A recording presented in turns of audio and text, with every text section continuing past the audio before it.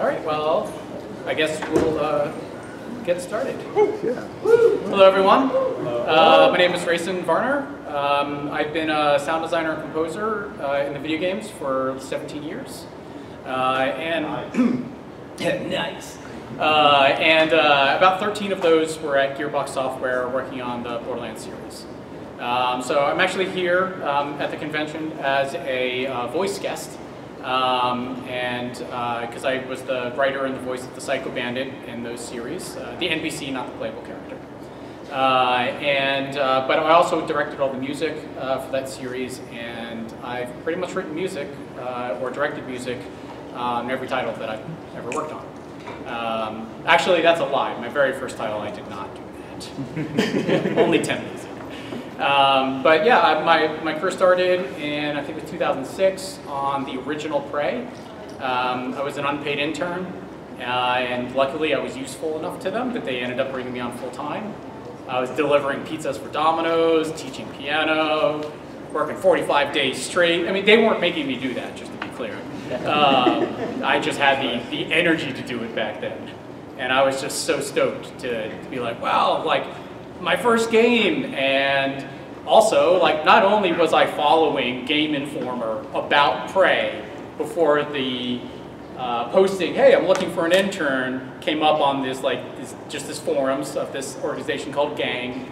Literally, was the first year it started. I think they're like 17, 18 years now going now.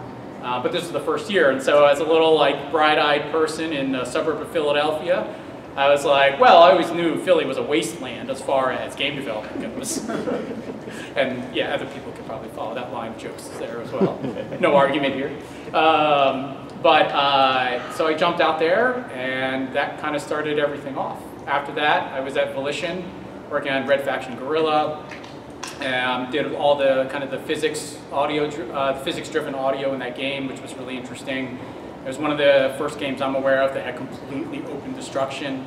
So we had to solve for all sorts of interesting cases where you're in a room, but it might not be a room, or it might open on one side of a room, or it could just cease to be. Um, we had to solve for all of that. Um, also, we, that was one of my uh, favorite music systems I worked on on that game, where we developed a kind of a node-based probability system where you can kind of go through like nodes of trees, and we built this whole visual tool just as internal tech that you'd have like th- these branches, and then you'd have like light cones going between the show that if it got more intense, you could go from here to here, and um, it- it's obviously there's, that's too loose of a description for to have a clear mental picture, but just to kind of give an example that this is one of the uh, kind of unique features of writing music for games is obviously it's all data driven uh, for the most part. So you have to find a way to take audio, which is essentially frozen, like a frozen snapshot in time. You can scrub through it, but it's frozen. It's like an imprint uh, into a stone. Um, and then you have to find a way to make all these non-malleable uh, tracks and clips form together to be seamless with the player experience. Um, and so for me, uh, that just, I don't know, that was like crack. Like I was just like, oh, film? Why would I do that? This is so much more complicated and all this other stuff. Um, and so uh, reason I'm stepping through this is that the guy who ended up, who hired me as an intern, called me while I was at Volition and said, hey, uh, I've been working as the audio director at this company in Texas called Gearbox. They're like super cool and interesting here, and we've got this project going on. I think that you'd be like super interested in, and I because I enjoyed working with you so much, I wanted to call you. Uh, and it was like I couldn't tell you how perfect the timing was, and he ended up hiring me at Gearbox. Um, and so there's a kind of like when I was a kid in high school, I met a like professional composer in Philly who was like the guy who did the like Pennsylvania lottery theme and, and stuff like that. Pennsylvania lottery. Uh, ah, someone knows it. Yay, Philly. uh, and, uh, uh, and he said to me, uh, every almost every single person in media can trace all their jobs back to the first person that gave them work. And I was like, oh, that sounds cool, but there's no way that could just be how it goes. And then, lo and behold, 13 years into Gearbox later, that's exactly what happened to me. Um, so, outside of that, um, I would say that uh, music uh, for video games, uh, one of the kind of unique things is uh, there's a lot more space for melody.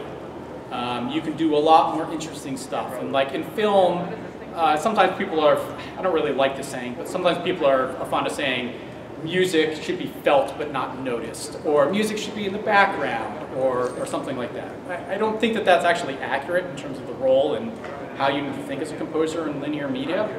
Um, but there's definitely, you definitely cannot be like, while characters are talking, or even when they're not talking, being like, cool, well, let me just take center stage now, check out this badass shit in my music, and like then go back, you know? That's like, no, no, no, that's not what they do. Um, and that's always what drew me to video games, is that video games, if you're not doing that, saying here's something super interesting, you're kind of like not taking advantage of the medium for it. Uh, so that's, that's something I think is always like useful uh, to kind of conceptualize what is different in kind of a stylistic or creative sense between games and film uh, is that if you're kind of into that, uh, that and you like the complexity of doing data-driven systems and having to kind of think in layers and think about possibilities and like, okay, the track could go a few different ways. Um, games are really good um, for that. So I figure just to kind of get a, a sense of the room, um, are how many people do we have here who are interested or produce music in the background on their free time or, or want to do music for Oh wow, okay, awesome, there's a lot more. Okay, great. Um, so what I'll do is, um, and feel free, uh, the functional part of my brain over here, Seth, uh, uh, just yell at me when I'm 30 minutes in. And, uh, and I'll try to leave like 30 minutes open for Q&A because um, uh, I wasn't able to have a presentation together uh, this year. so I want to make sure you guys all have a chance to kind of ask your questions and, and get any information you guys would like. Um, I need to head back to the, the table, the signing table after this, but if anyone wants to kind of follow me down there um, to continue a conversation, that's also good. Um, so what I'll uh, talk a little bit about is, uh, so like, uh, there's a few, I'd say there's kind of three things with game music that uh, you want to think about. Uh, one is production, right, and production quality. And like really the only people that actually have an opportunity to have someone else mix their music, to have someone else record the music, because uh, in film, that is the advantage of film. The advantage of film is that it's so specialized that you get all of these artists together. It's, it's, you're going to mostly have live instrumentation unless it's like TV or something. But even then, it's much more frequent that you're going to be working with live musicians and being able to take advantage of having all those kind of brains, just, just really focusing on their each individual part for video games, you're going to need to be the one doing all of it. And so you need to learn how to uh, produce, uh, uh, sorry, have uh, high production quality. You may need to learn multiple styles, so you may need to become comfortable with electronic production, um, just as, as comfortable as, with, as you might be with full, or, uh, sorry, full orchestral composition as well. and they all have their different um, uh, bodies of knowledge and methods that you need to kind of incorporate. Uh, and that's something I've always enjoyed. So obviously not as relevant for the Borderlands series. Uh, one of the ironies is that I actually, my background was orchestral, not EDM.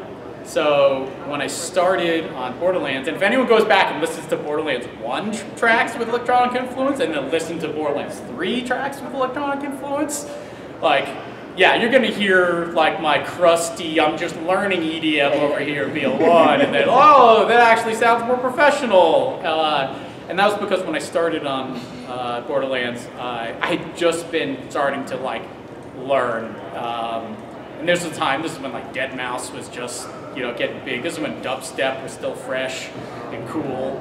Uh, and, you know, before it became its own meme. Um, and, uh, and so that informed a lot of the style of Borderlands 1 because we started off, we had kind of this world music element uh, to everything. And then I kind of like was like, okay, in order for us to kind of be on the cutting edge of, you know, what's popular and everything, because at the time, back then, now, now having this kind of like EDM cross influences, this is like everywhere, that hybrid sound. But back in the time, I think it was 2007, like that wasn't, that wasn't as frequent. So that was something that um, in Borderlands, one of the things that we always did was, uh, yes, we're gonna have this world elements in music, and the world elements and the ethnic instrumentation is there to help enhance the alienness of the world and just make it feel a little different, less familiar. Um, and then, but because of the attitude and the tone shift that we had about, I don't know, six, seven months before release, um, because we were a little more like photorealistic and serious. And then as we sort of kind of as a team started to be like, oh, what feels right?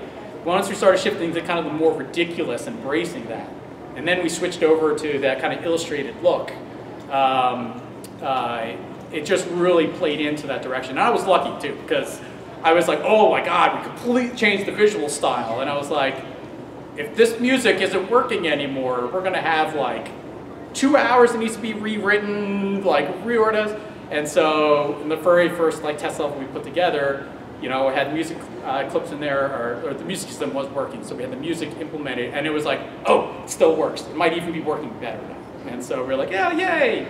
And so we needed, uh, and then something is like, we wanted the music. Ambient music is isn't wallpaper. It's there to help connect with you emotionally. I think that's one of the reasons, uh, like Jesper's track for Fyrestone um, I think that's that's what that's just become like iconic for a lot of people, uh, and it's because it had resonance with the environment.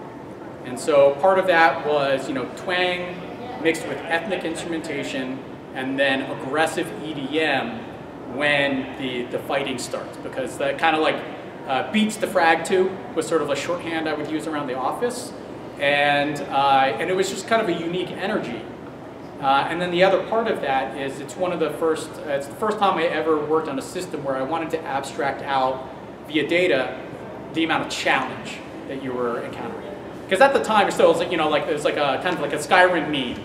Combat music starts, so let me look around and like, there's a bear three hills over, I'm sure, he's coming. And, and at the time, that was sort of like the, the binary on and off. If you just tied yourself to combat state, you get in all sorts of weirdness like that. Because the literalness of the data in the game is often you need something in between. Here's the data readout, and now here's how I'm going to smooth out the data that we're getting from the game so the performance of the music and the way we trigger things are now they're feeling kind of like in flow with everything. So um, one of the my ideas for that game was, in, if we need to separate us from just that binary state, I want to try to collect data, and so we had a concept called threat. So I'd go through the whole game and open every single configuration file for every single creature in the game, and I would say, okay, baby skags, you're worth like 0.25 points. Um, this badass version, you're worth 1.5 points.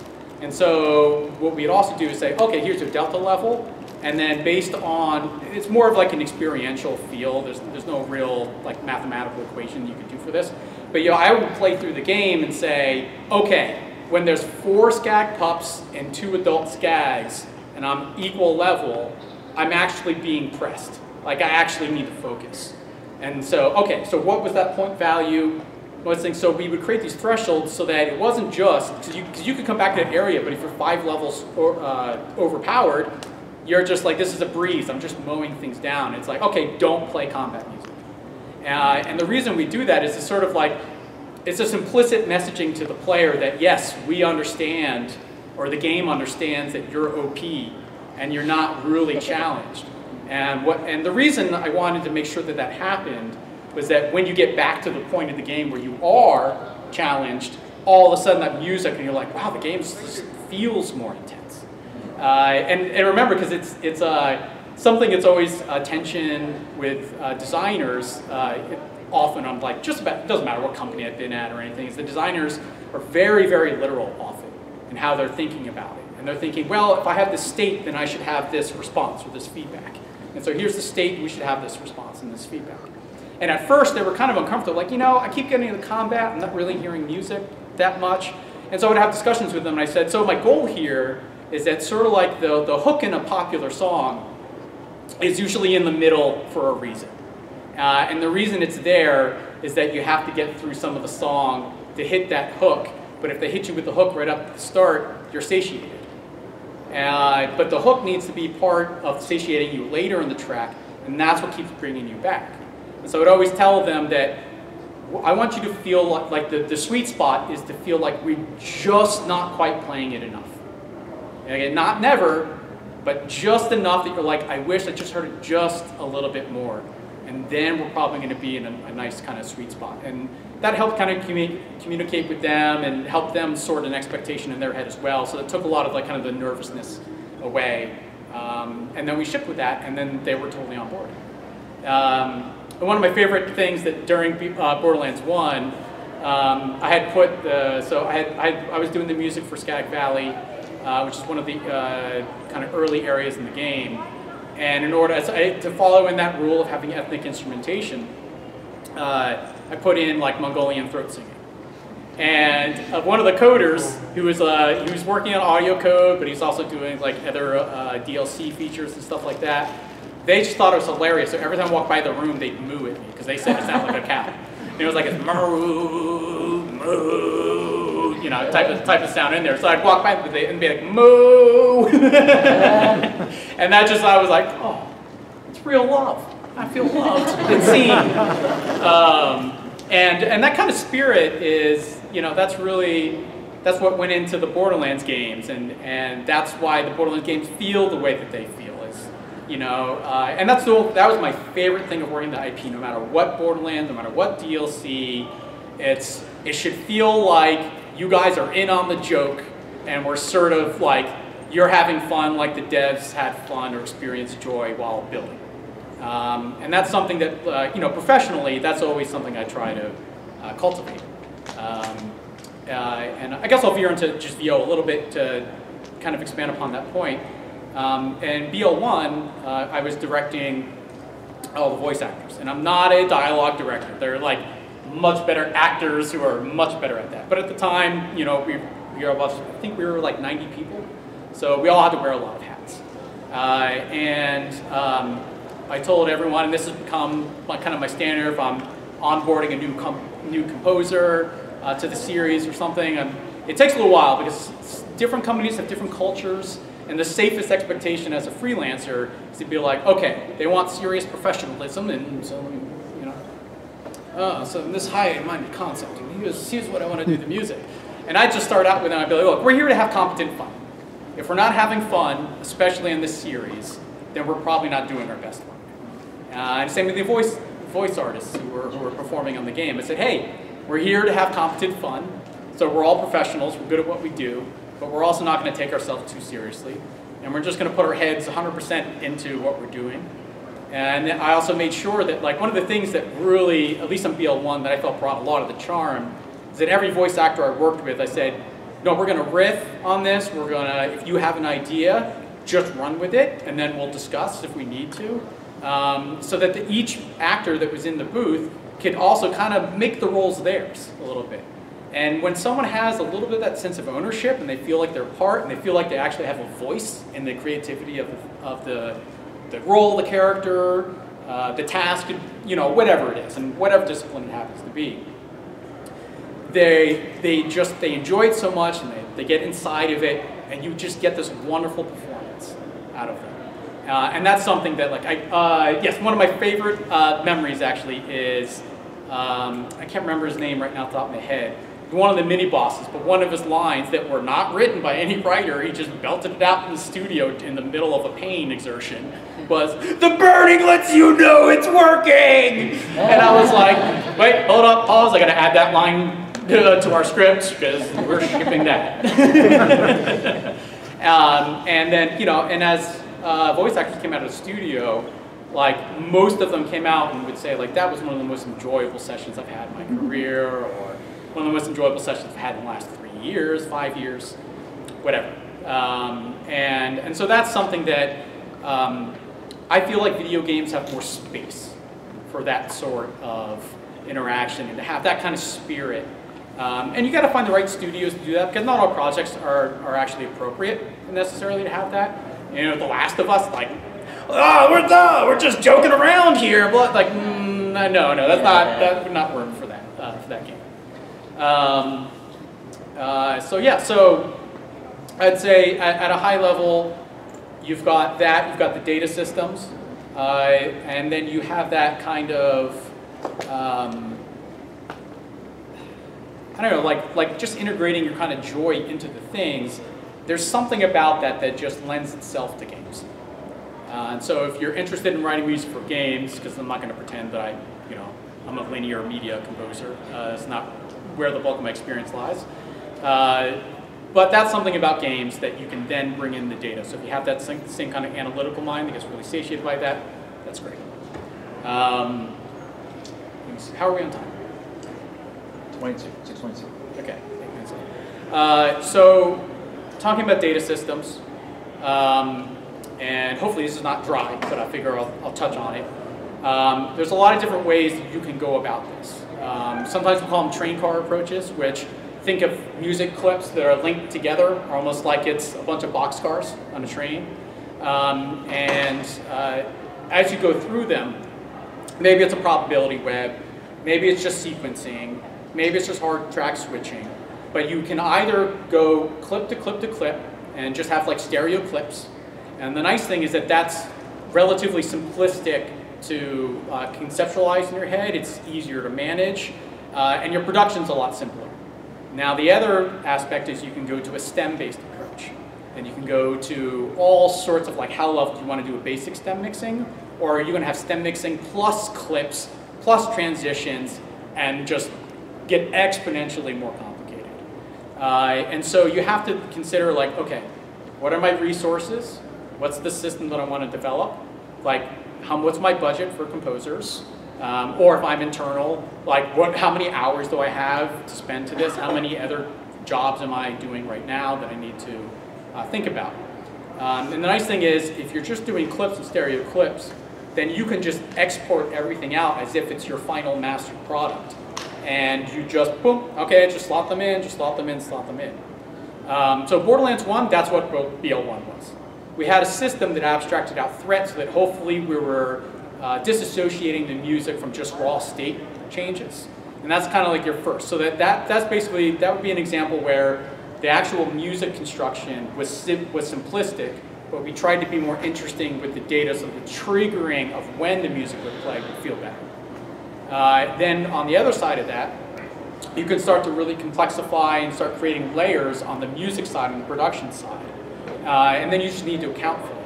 So say, so for example, I was working on a title, uh, it was orchestral music um, uh, years ago, and uh, I, we were doing this layered approach, and I had like 12 steps that I had to, to mix on the fly. And so, okay, all 12 stems need to play uh, against each other and play at the same time, and that needs to be not overwhelming, but it also needs to sound full. But also, we need to come down to one out of 12 stems, and that needs to feel like it's doing a job as well. It can't feel like it's silence, but it also, you know, can't, can't be overly developed, or otherwise you'll have no range to move through.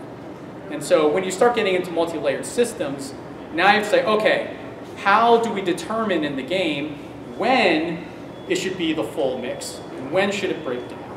And if we just do it randomly and it's not connected to context in the game, then people aren't going to feel as connected to it. Uh, so how do you go about that? Because it's very easy to be seduced by complexity as when you're when you're really into these systems. Because uh, you know it's uh, often that's oh we can do this and this and the system can do this and it's so flexible, it can do all these other things, and, uh, and that's kind of a danger in development is you can kind of be seduced by the complexity and how exciting the complexity is. And then you get into a time crunch and you go, oh my God, why did we go so complex? This is a huge mistake. And, uh, and that's kind of like a, I don't know, I feel like it's a meme within, the, within development itself. So uh, you really get to explore this stuff. And so that kind of culminated in Borderlands 3 um, and by the way, if anyone's interested, um, I actually have done like a shorter version of a, a GameSoundCon conference talk I gave on the music system, the music style of Borderlands 3.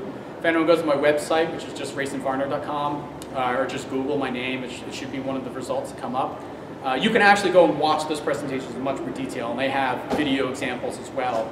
Um, so if you ever want to check that out after the talk, then you can, it'll help you internalize so it's not just me talking at you. Uh, but what we started doing in that series, uh, or I'm sorry, that installment of the series, is we had this concept of threat that we continued on, and we added a new concept called interest.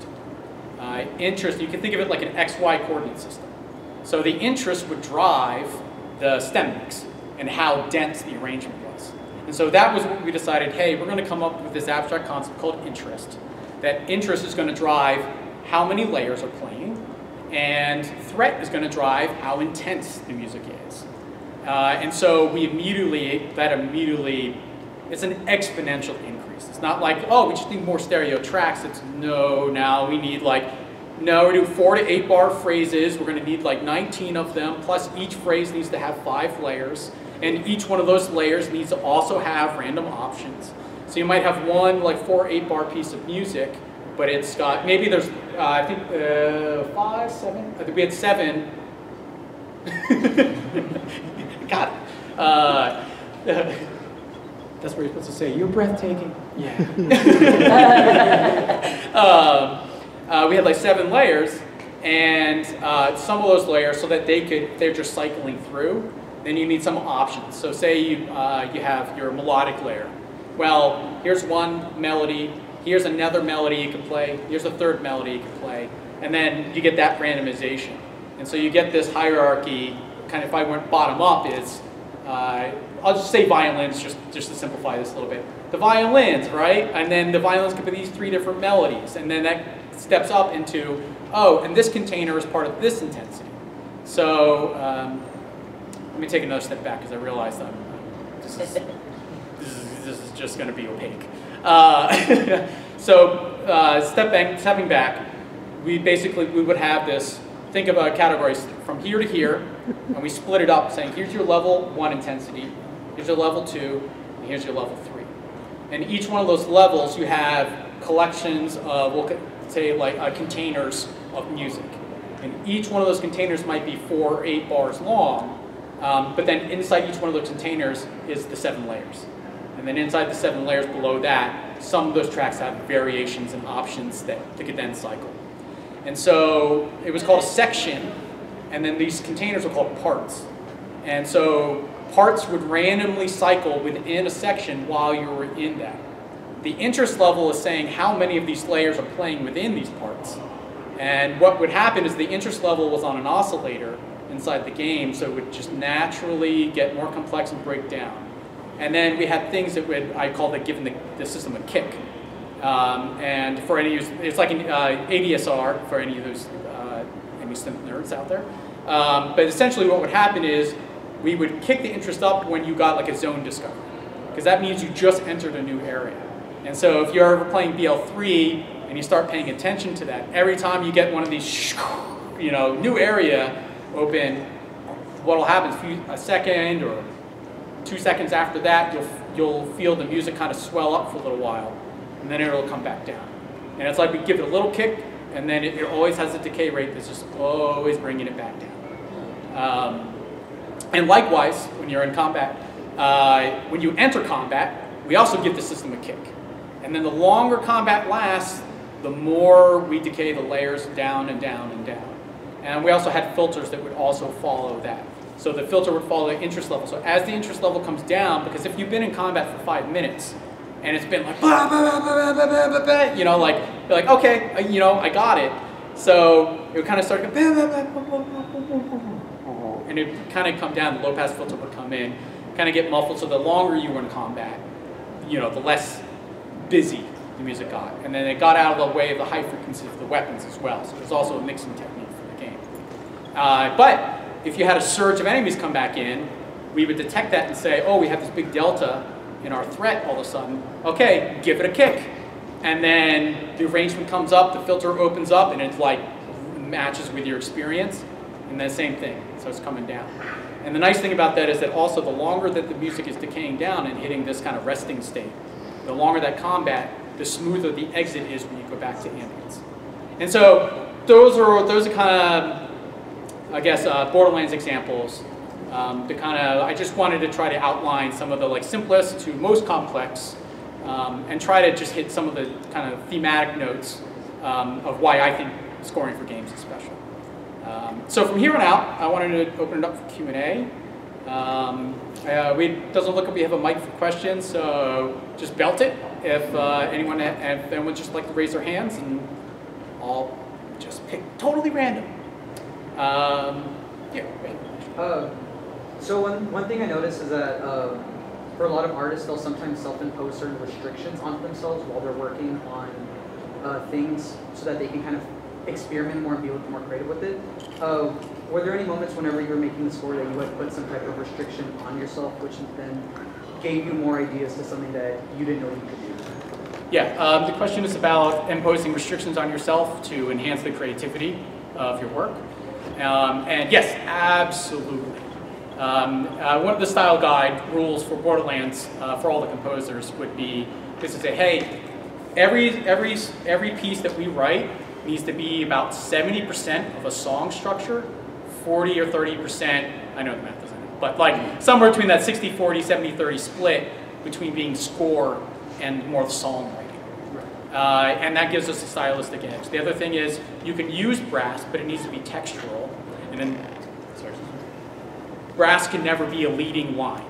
So if you can have French horns in there, but they got to be going or like doing some kind of like flutter thing or something. They need to be used as a texture because nothing would pull us out of our kind of zone of the style more than like ba ba ba. You know, you have this leading brass line or some screaming trombones or something like that. And it might sound super cool in the music, but that's where you start to, you know, you need that restriction in place because that, that restriction is part of what gives you the, the style, the personality, and the identity. Um, and the nice thing is that actually extends to tool work also. So not even about music. Um, use this bad analogy. I think it's a bad analogy. But I call it the, the problem of the wrench hammer.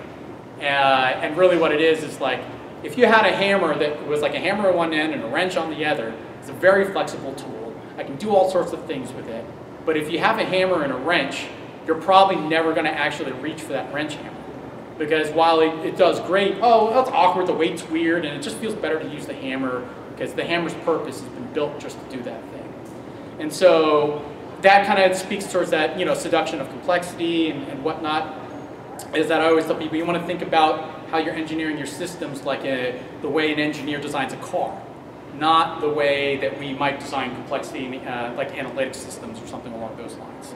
Um, and because the what car um, engineers always trying to do and dealers are, they're trying to remove as many parts from the car as possible. Because every single part you add to the car is a new point of failure that can diminish the profitability of the company and increase the service calls. Um, and that's exactly the kind of mindset you want to have when you're designing tools or building systems. As simple as possible. And the other nice thing is when you choose your limitations, you also can predict, say, I know that two years from now, this is a limitation we're going to be dealing with. And so it also helps focus your mind on the problems and say, no, no, no, we can't do that because we already accepted this limitation. And it also helps because what happens a lot in development is like, oh, it doesn't feel right. Could it be this? It could be, be this system. Could this be the problem? Is it the health of the monsters? Are we just bullet sponges and that's not making it fun? And like, and it really, when you're just abstractly trying to think about this stuff, you're like, ah, what direction? Like, what's right? And that's where like putting those limitations on yourself helps kind of collapse the amount of possibilities you have to consider. Um, and it, it's helpful. Uh, questions? Uh, back here, the black shirt. Um, so you mentioned how you had all of these different parts that you could like build on top of each other so you make sure that like really small enemies aren't too drastic or anything like that. But when you have an event that's really impactful or like the big bad or something like that, how do you ensure that they're like how do you find that ceiling? Do you work backwards? Have you had to adjust smaller enemies? How do you ensure that that's like the player registers that this is the biggest thing? Yeah. Um, the, the question is about how, if you're in a system, how do you determine when you need to break out of that system um, and play maybe like a, you know, a, linear piece or something, um, if, if I understood the question.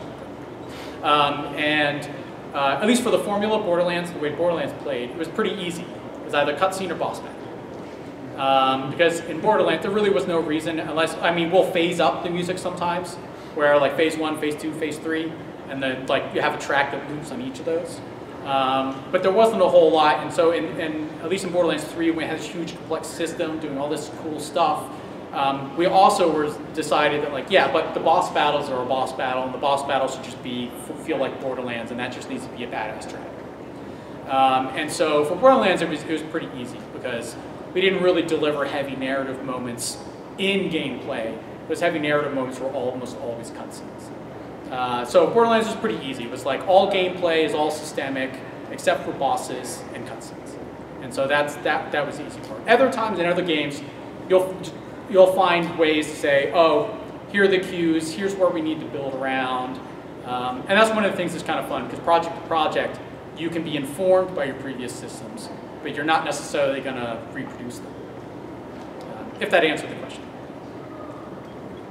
Um, yes, here in front. If you had to throw out all of the tools like you already know how to use and rebuild that scope of knowledge from the beginning, where would you start and kind of what path would you take for relearning everything? Okay, uh, the question is if I had to throw everything out and start fresh, where would I start? Um, and let me, let me know if this answers your question, but because uh, uh, I don't know if it'll be satisfying. but I would start back pretty much where I was in Borderlands 1, where, okay, simplify the music production so that I can focus more on the system. Because it's the triggering of the music that's more important than how complex the music is. Um, an, an example of that would be we have much better generative music systems now than we did, say, in 2007. But um, oftentimes, and there's just kind of a personal, like, negative bias of my own during that during that period, was oh, if it's generative, then it, it probably doesn't really feel like emotional at all. Probably just feels like boops and beeps and tinks and whatever and bells that come in and and so and that would be an example because there'd be a lot of titles where I'd be listening to and I'd be like, that is a super complex, super cool generative system. It's very intellectually interesting, but I don't feel anything. And at the end of the day, that again, it's that like, is the audience playing with B in the game, and are they part of the part of the, the play and part of the back and forth? And if they're not feeling anything from the music, then no matter how awesome it is and how technical of a, an accomplishment it is, we're missing the mark in our ultimate purpose of having the music being present in the first place. And so that's where I would always come back to is simplify my production and try to get the triggering to be more intelligent. Because the once that logic is working, those sort of the, the complexities of what you need to address in the game will then inform how are you going to write. Um, and that's also something I would say, I think the industry is understanding a little better these days, but that a lot of the times freelance composers get hired on and they're like, hey, here's the system, so here's your limitations, here's the box you have to work within and make it cool. Um, and I think that, uh, at least in my opinion, I think that people are a little becoming a little disconnected from the process because it should be a little bit more like a handshake, where your system influences how you write, how your writing influences your system. And if you have this sort of, if you keep, the two concepts in tension with one another, then you're going to be much closer to the mark. Your, the, your ability to write interesting stuff is going to be eased because you, you've, you've kind of chosen the limitations that make sense for the instrumentation, the style, whatever other like creative guidelines you might have. So I hope, hope that, answered. Um, over here, the headband. So, uh, the badass head. um, so whenever you first started out, uh, how bad was development crunch and um, has it gotten worse over time with the amount of complexities in modern games? And how does development crunch affect you as a sound designer compared to, I guess, like other roles? Yeah, we're as sound designers, we're fond of saying that we're at the ass end of the pipe. Um, and it all flows down pipe. uh, but we're also, because of that, and I kind of joke, well, because we also need survival instincts, we also tend to be the canaries in the coal mines. Uh, and that's usually how I try to work with producers on that to say, look, we have this concern, but like, it's not specifically audio. It's more that, hey, this is serving as a heuristic because we have to think about these things all the time because we know everything's going to get finished to a point where we can. Because oftentimes, we legitimately can't support it early because we just don't have enough information about how it triggers, how frequently, other logic. And it may not even have like VFX or the right colors on it or anything like that. So if we invested a ton of work too early, then in the grand scheme of the, the schedule and the project, well, we just wasted all this time. Um, and you need to iterate, but there's a point project where your iteration is now cost and you're losing time. Um, I would say early on, um, crunch was bad, but a lot of it was more because we just didn't have enough people. Uh, and nowadays, I would say uh, I don't I don't really think they even have crunch anymore um, at Gearbox. From, from what I hear, it's been a few years since I was uh, at Gearbox internally. Um, but all my friends that are still over there, that's kind of what I've heard. Even since I left, it's like even got better. Um, oftentimes, what I find is that um, crunch happens because we waited too long to make a decision, um, or we didn't pre-plan our cuts.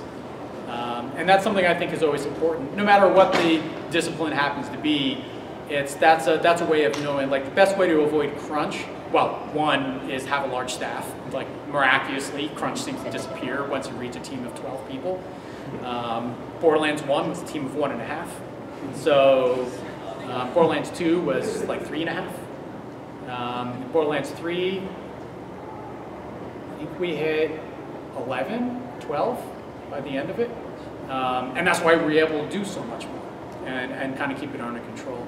And I, I would say crunch wasn't too bad uh, for us on, on BO3. It was there, uh, but oftentimes, um, I think oftentimes there's a misnomer uh, in, uh, it's almost a misnaming to call it crunch. Because um, really what it is, is uh, burnout, is really. And crunch is actually just a one small component of the facet, facets of components that lead to burnout. And it's actually not even the most severe. Um, but the reason it's so difficult to, to manage that within the games industry, because you know most managers are well intentioned. Most managers don't actually want to see that. It's just like everyone's trying to navigate through the fog and can't figure out how to defog the environment. Uh, and so all these, these things come from multiple uh, directions actually. But one of the biggest things that causes burnout is actually more narrative based. Um, meaning like the story that you attach to your own experience within the company. And so for example, in a company that has professed values, but the culture departs from those professed values, is a much greater contributor to burnout than just the hours you worked.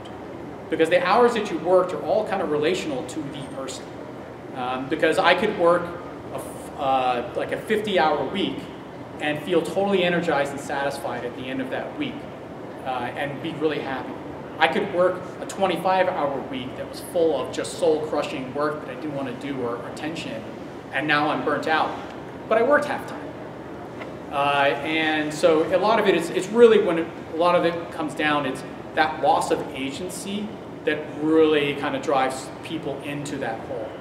Um, because there's like this whole sliding scale from being engaged with your work, being disengaged with your work, to being um, cynical about the work and the company, and then you become embittered. And, and you, they're almost like stages of grief in a way, but this is like the stages of burnout and collapse. Uh, and that's something that, um, if you, if, for me personally, this is my own theory, informed by real science and people that know this stuff better. But the way I relate it to games is, once you start to get to cynicism and, and bitterness, it's you almost can't come back from it. and so that's usually the, the lens that I use. Uh, so if I'm a manager, that's what I'm looking for in my people is like, oh, are they starting, am I noticing that they're getting really cynical? Then like, okay, let's, let's have a kind of a, a sidebar or one-on-one, let's talk about what's happening. That could be life events, could be other things. And oftentimes what happens at some point in the conversation, it's like, I don't feel like I can, I can own my things and I feel like I get punished even when I do the right thing. And that sort of like, so what am I supposed to do? I don't have any agency here. That's actually like kind of the demon um, kind of things. So hopefully that answered the question. Awesome. Um, over here in the third, fourth row. Oh, um, so what was um, one of the uh, tracks or songs that you uh, worked on that it just felt like you were running into a brick wall, like you couldn't uh. figure it out, and you just took a lot of time to develop it. There was number or something. Um, the uh, General Traunt, his boss music, and, and Nekrotafeyo. That, I even actually I have it up on my SoundCloud. I have every version. Uh, and it was like version six where I, I finally landed on. But you can even hear like, you go through and you're like, oh, that's super cool, but yeah, the tone was like off. And that's like the worst one. That's like the worst the iterations I could get into. Oh my god, this is badass. Ah, this doesn't really fit. Uh, just seduced myself with my own bad attitude again, but it doesn't fit. So, oh yeah, what a badass. Ah, you know. Um, and because that's also a, a side thing as a composer and creative, you have to like learn how to like ignore your own voice when it starts doing that stuff. Um, but I would say that's actually one where um, I really like, I was like, why can't I get this right? Uh, and then it's cool because then you see all these comments on SoundCloud or other places of like, dude, the General Traunt track, oh, I love this. Uh, and then it, you know, you sort of like, you can kind of uh, distance yourself from that, that process of frustration. Just kind of embrace it as part of the process when it happens. Um, and then, you know, if you really need to and you're like, I don't even know, like, hey, contractor, how would you like to write this music? And then the first try to knock out of the park and you're like, oh, I'm just gonna quiet that voice again. um, over here, you've been raising your hand here in the front row. and I keep- Oh yeah. Um, so I know, like for me personally, I always struggle with melody melody development. Um, you know, I think a lot of musicians struggle with that. Like they mm-hmm. can play, like with the if you give them something or learning off of a recording or something, but actually developing your own melody and harmonic structure, I think is really difficult. So when you're like working on a piece for you know a game, do you focus on the chords first, or do you do melody and then apply chords to that? you know, it's all over the place. It really mm-hmm. just depends on the thing I'm working on and what's important. Sometimes I start with the beat or the percussion. Sometimes I start with just a pad. Sometimes I start with a melody. Uh, sometimes I start with my voice. Not singing, just doing weird shit. Because I can't sing, but I can do chanting and cool Oh, yeah. stuff like that. Um, so yeah, it just it just kind of kind of just depends. Um, which is the most dissatisfying answer, especially to producers. Nice. Um, so I have a lot of experience with music composition and writing music, but less so with like systems and implementation and things like that and coding. Um, do you have any advice for like how to market myself for jobs or internships, or should I focus on developing those other skills first? So if it's specifically music, then you absolutely want to focus on implementation because one of the things is there are also things like music designer roles that'll open up at like larger companies. Um, and that's where you're just working on implementation. Um, so like Wwise, that's what I've been. I've been Wwise for like 17 years. Wwise and Unreal, that's been what I've been doing the last, uh, yeah, all those years. Uh, and you want to be able the best demo you could show for interactive music you have to show that interactive part and so there might be like unreal games it is it is really hard it's kind of an uphill battle because it's not like when you're just working on your composition and production then yeah you can just you can keep that in your own enclosed environment you don't have to deal with scripting you don't have to deal with things breaking break and like bashing your head against what the hell is going on and oh, I spent four hours just to realize I left a zero off on my configuration file um, and that's all part of development. So kind of just getting into that. They, there are some projects, this is really, I don't even know how you access it anymore. I think it's still accessible, but there used to be a, um, um, oh my God, uh, not Inside. If you guys are familiar with the game, ah man, I'm drawing a blank also, I know that. But there's an old game that you could get with Y, Wwise, um, and be able to actually connect and replace the WAV files with your own work. So looking for projects like that where they're already done and you can you already have the scaffolding, um, that's that's really important. Um, and also, I want to return to your question because I realized I did not answer your question about melodies, Oh, which is actually like probably the more important part. Something that, that I've tried to teach melodic writing when I have composition students is to, uh, at least for me, I don't try to think of it as like mathematical relationships or technical things. Think of it as terms of direction and distance and jumping and like, you know, those, instances. Um, because you're right, whether you're going up, whether you're going down, if you think of the line as a direction and you can think of the cadence of the line as sort of speech in a way, you know, like, you know, you're going to have that more kind of uh, punctuated feel. Well, also think of it almost like you're drawing a curve of some kind. Um, because what it'll help you do is like, yeah, you can do jumps in like Star Wars, the Star Wars theme, those like fifths or octave jumps all over the place. Um, and they're all there, so you can think of that, at least I, I think of it as distance, like how big of a jump, and then what are those steps in between the jump, and what is that, that kind of curve or that line that we're taking through the melody. And I think that helps write, helps you become a little more directed in your writing. Um, but it's a very loose concept. It's certainly not like a, a method. It's not a mechanical thing you could just put into practice. But I, for me, that really helped me uh, write melodies that felt better, that captured things a little bit more. Um, and then the other thing to think of it is, is how, um, how much information am I building for the use of to hold in their memory? Because the longer your phrase is, the longer the musical memory the user has to have in order for it to even be meaningful to them. So that's also something to consider. Because sometimes doing that kind of more through written, where you don't repeat anything in the piece, is actually like really good. Uh, but if you're trying to do a memorable me melody, that's the other thing. Is think of like what's the time slice that I need to put in user memory. uh, and then that can help give you like, oh, a window for me to kind of consider.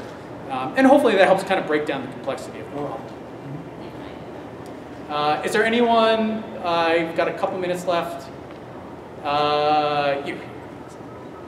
Um, so, uh, I actually uh, ended up getting a degree in uh, music composition.